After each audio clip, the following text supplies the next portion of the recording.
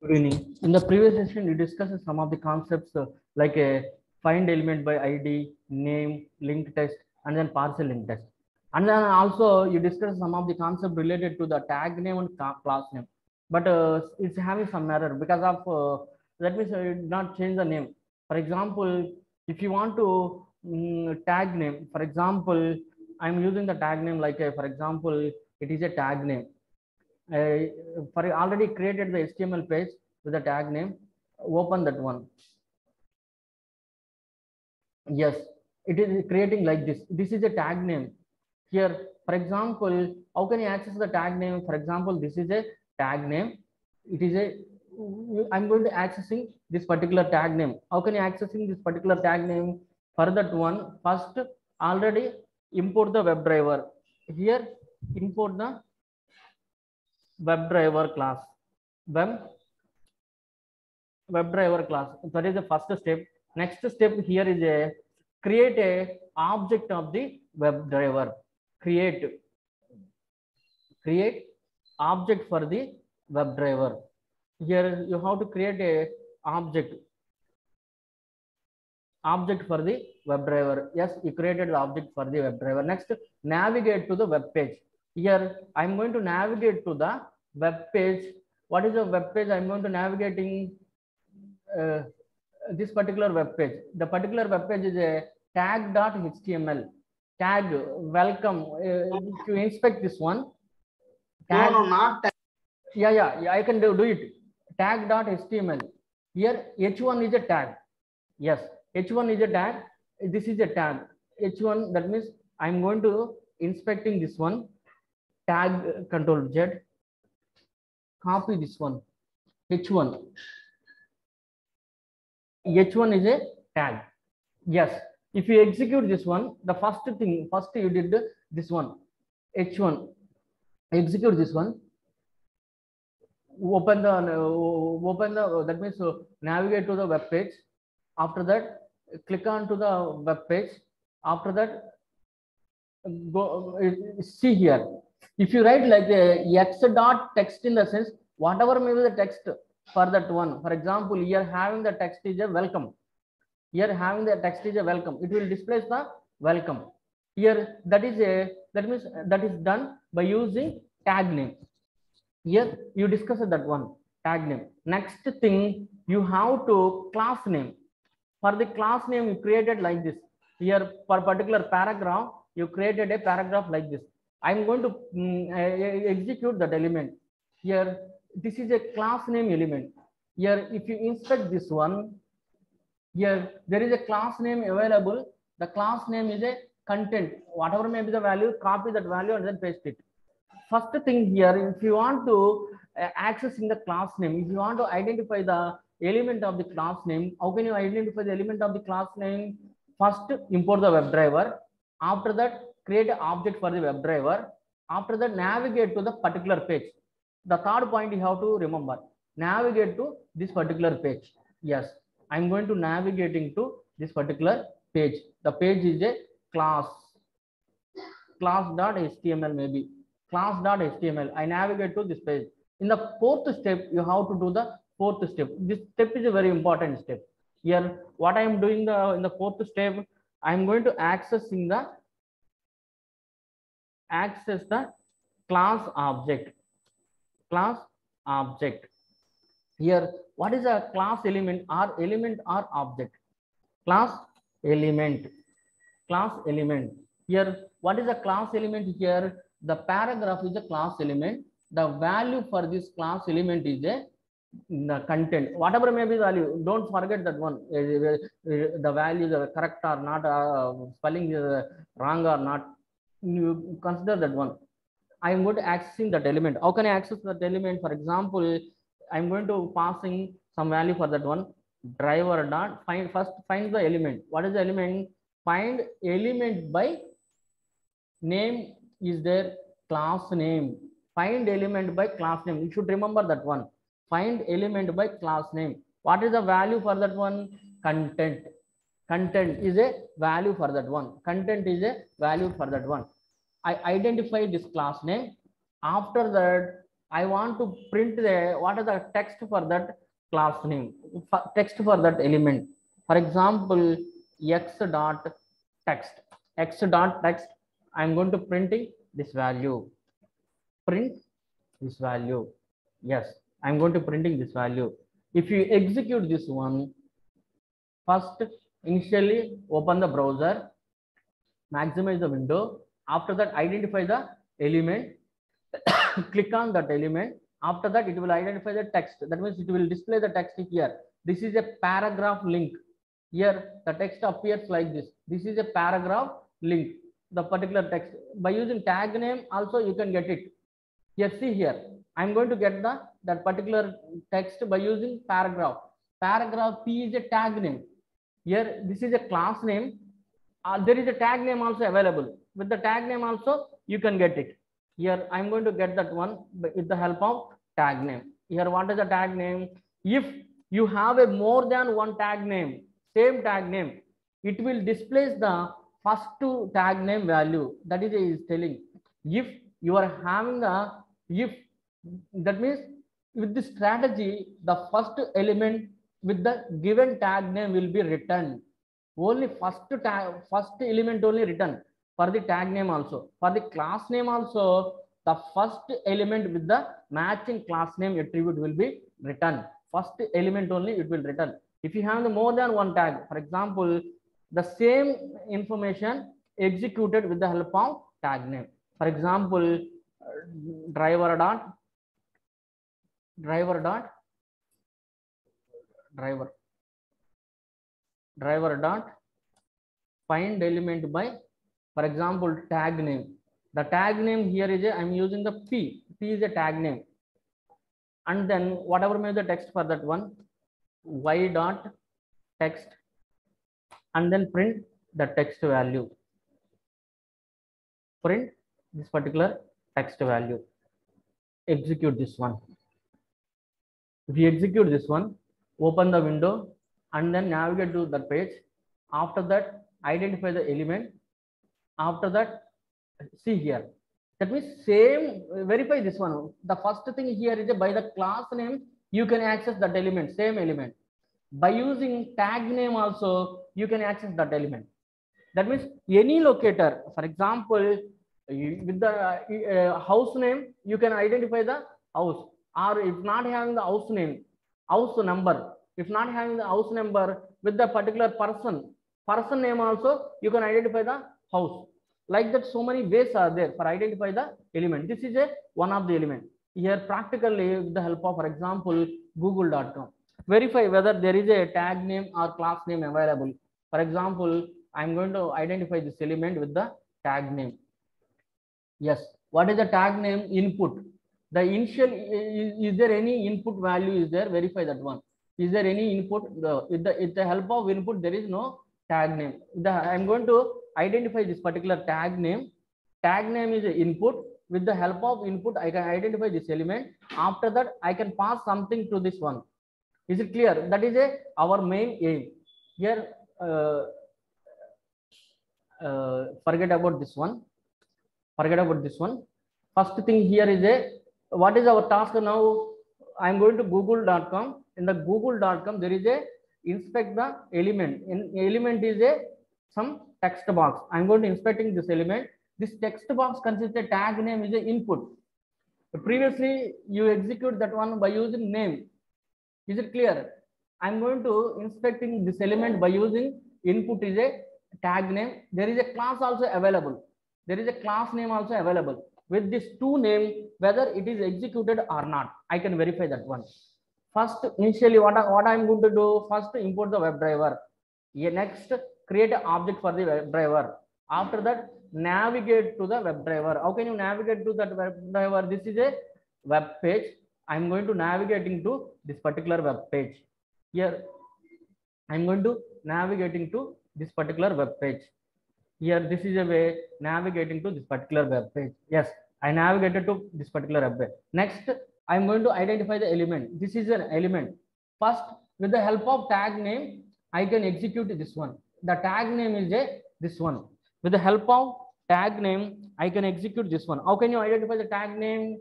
By using uh, next. That means locator 5 with the help of using tag name. Here the tag name, for example, I'm going to passing that value driver dot find element find element by tag name driver dot find element by tag name. You will pass the value for the tag name. What is the value? Input. Input is a value. After that you have to print that value. Uh, you you don't you don't have anything here. Yes this is an element. Element is a text box you have to pass something to the text box. Why? Because it is not a text. If it is a text you can print it. It is a element is a text box. For the text box i'm going to pass in something. How can you pass something here? X dot send key method is there. With the help of send key method i am passing something. What i am passing? For example selenium. I'm going to passing something as a selenium. After that wait for the some time. Time dot sleep. Time dot sleep. Wait for the seven minutes seven seconds. Okay after that close this one. The first thing here is a with the help of tag name i can access the that one execute this one. If you execute this one first WebDriver that means uh, click onto the WebDriver go to the that means maximize the window. After maximize navigate to the google.com after navigate to the google.com identify the element how can you identify the element find element by tag name after that write selenium. Write something uh, something to the selenium. This is a one way. After that close it. Here same uh, operations. I am going to apply in the class name also. Same operations. Here for example commenting this one. Commenting this one. Same operations. I'm going to applying by using class name. For example y is a some variable here driver dot driver dot find element by class name find element by class name. Here i am going to um, pass in the value for the class name. Here what is the value for the class name? There is a class available here. Class available class equal to it's having some value. Copy this value. Simply copy this value. But uh, if you want to do the such an operation very difficult. Copy this value and then paste it here. Copy this value paste, paste it here and then pass some value pass some data. What i'm going to pass some data if you want to pass some text you will use a send keys method. Here by using send keys method i'm going to pass a selenium or not a selenium. Every time selenium in this is no problem. Okay. I'm going to pass i want to search a python. Python. I'm going to search the python. Wait for the seven seconds. Okay. That means another way. Same element accessed by using class name. Execute this one. Yeah. Same operation. After that uh, maximize window after that passing the python. Here after completion of this one identify the element. Yes it will identify the element. Uh, okay. Is there any problem here? Class name? Yes not having any problem. Identify that particular element with the help of tag name. Okay. Inspect this one this is element. If you have the same class name value not having the same class name value no problem. With the help of class name it can execute. You have to execute this one. Yes. Okay. It takes some more time. Okay execute this. Once again execute. Identify the is there any? Yes. It is executing after that you should pass the some value python. Identify this element. Uh, with the help of class name it is not going to identify. Why? Because it's having another va- value also available i think. For example this is a value. Is there anything? Is there control f? I am going to verify this one. One thing. Only one element is there why not accessing?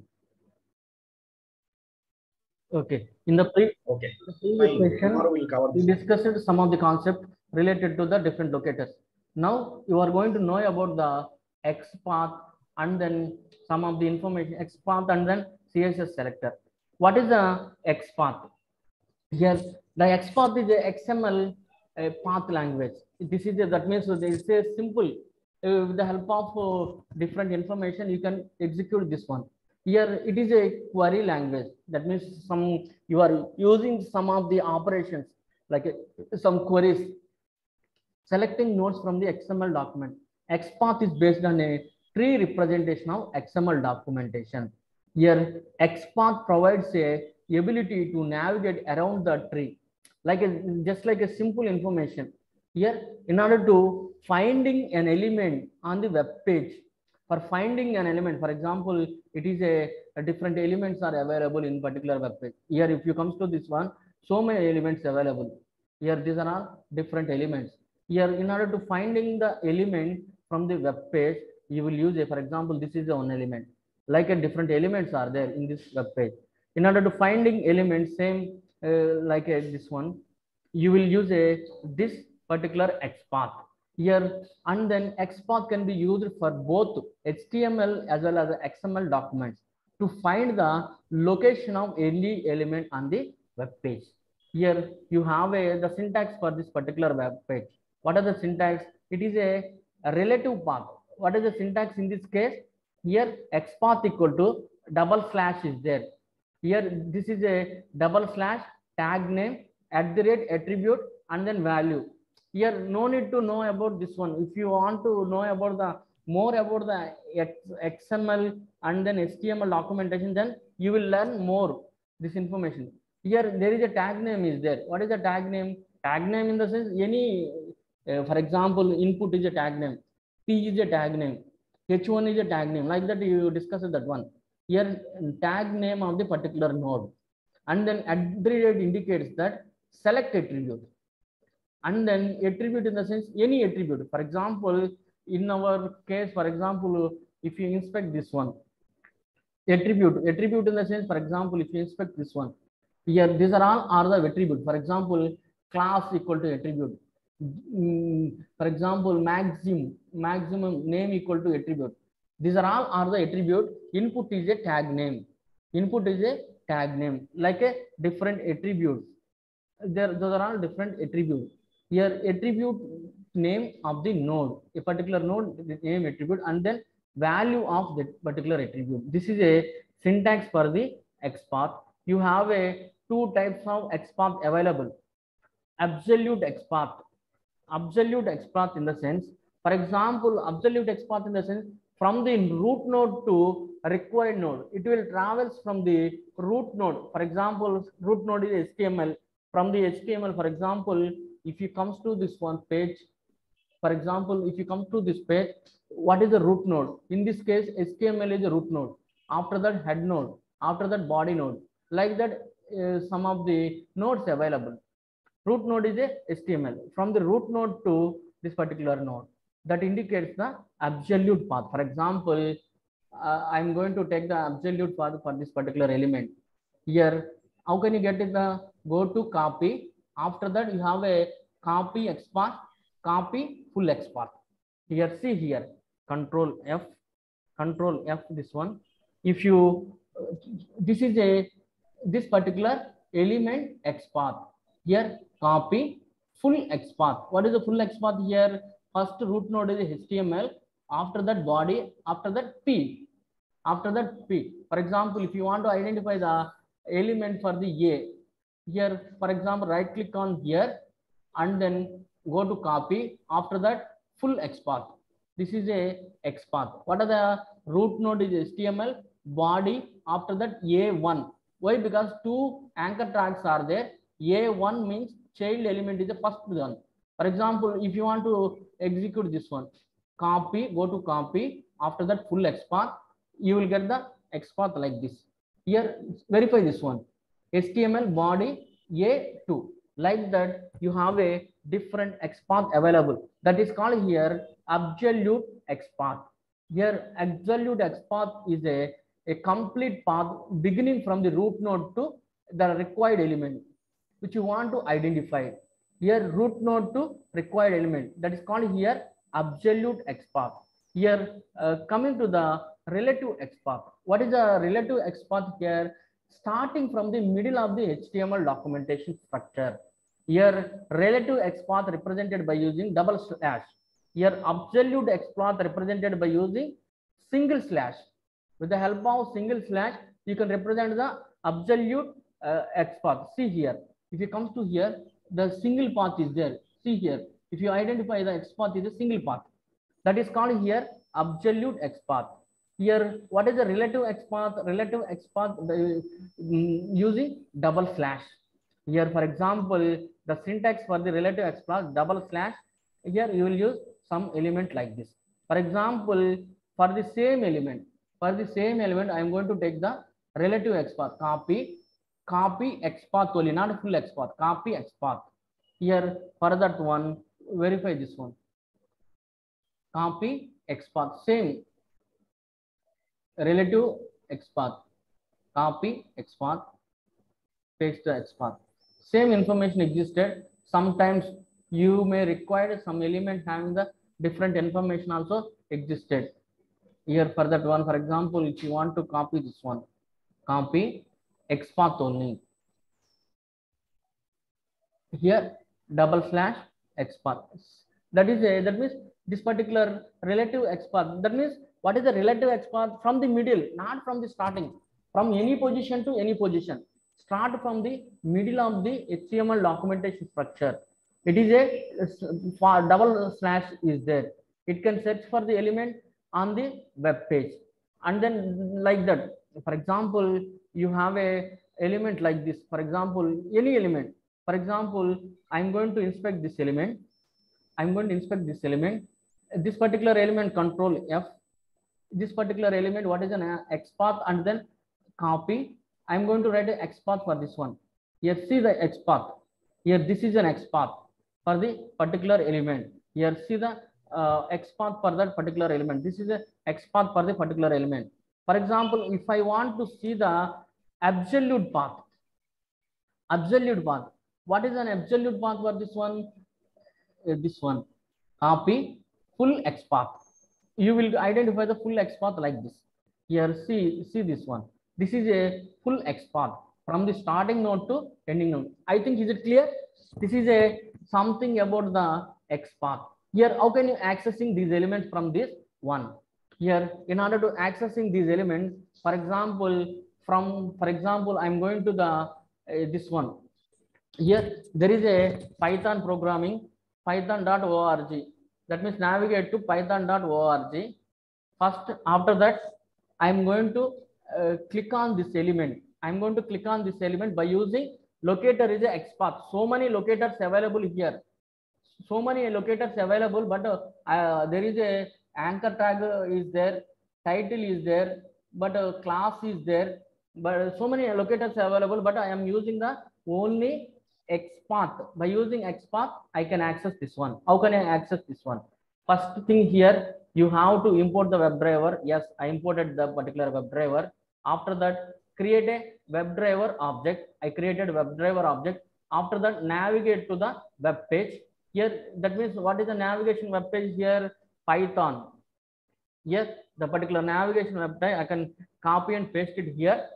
After that, I am going to use the XPath value. XPath. How can you use the XPath locator 7? The locator 7 in this case, XPath. Here, how can you use the XPath here? For doing that one, driver dot find element by XPath. Here, you have a find element by XPath locator available. That means uh, this in this way you can identify the element. Here, which element I am going to identifying downloads element. Here, click click on the inspect the downloads element. After that, right click here. Right click here, copy. Which I am to copy first. I am going to copy the full XPath. Full XPath. Full XPath in the sense absolute XPath. Double quotation marks under the double quotation marks. Full XPath from the HTML body, div, header, after that full xpath to download location and then i'm that means it is the way identify the download location. After that i'm going to clicking this uh, download. After that i'm going to clicking this download. Is it clear? Here for example i'm storing this value into the some x element x equal to after that x dot click. Why? Because that is a um, anchor tag. For that anchor tag i'm going to click that element okay is it clear? In this way you can you that means uh, by using this particular x path you can identify the element. This is called here identify the element by using absolute absolute x path absolute x path. Execute this one. First um, identify the that means go to the python.org window maximize the window. After that identify the element downloads element. After that click on the download element. After that click on download element. After click on the download element it will appear like this. Okay. After that close the this window. After seven seconds it will going to close the window. Okay. And that means i'm going to reducing the time sleep for five seconds. Okay. Uh, this is a using the absolute xpath here next the locator is a relative xpath how can you use the relative xpath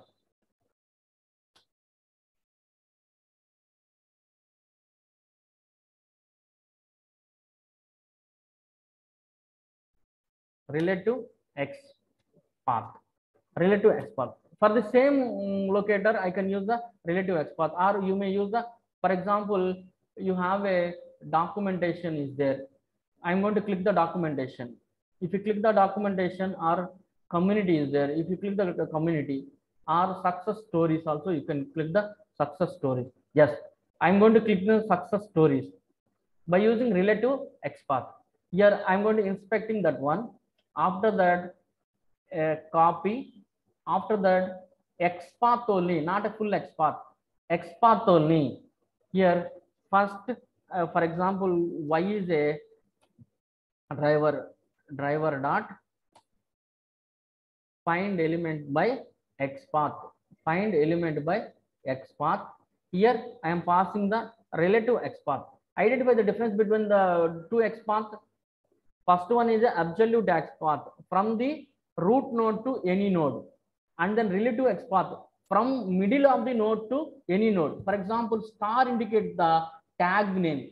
Here the tag name may be any name. For example any tag name after that at the rate id equal to success stories slash a success stories. Here that means how can you represent that one? For example the relative x path are represented like this. Here how can you represent this one? At the rate id equal to login at the star indicates that before that what is the star value? Here the tag name the star is a tag name at the rate attribute equal to value at the rate attribute equal to value that is a relative x path star at the rate attribute equal to value after that input after that the child value the child whatever may be the child value it's having the child value it, re- it will represent it. Here and then i'm going to clicking that value. After that y dot click. Now simply you want to click that one you may click here y dot click? Okay. Uh, it is having yes.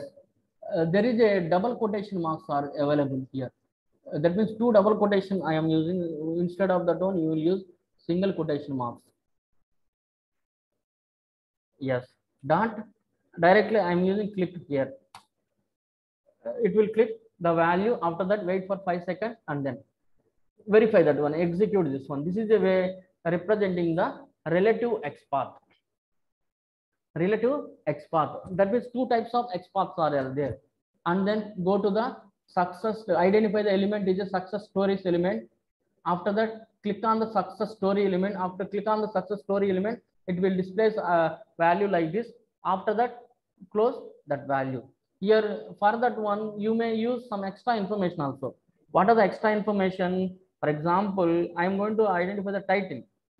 Driver dot title. Here, uh, title. T I T L title. That means what is the title of this one? I'm going to print this value.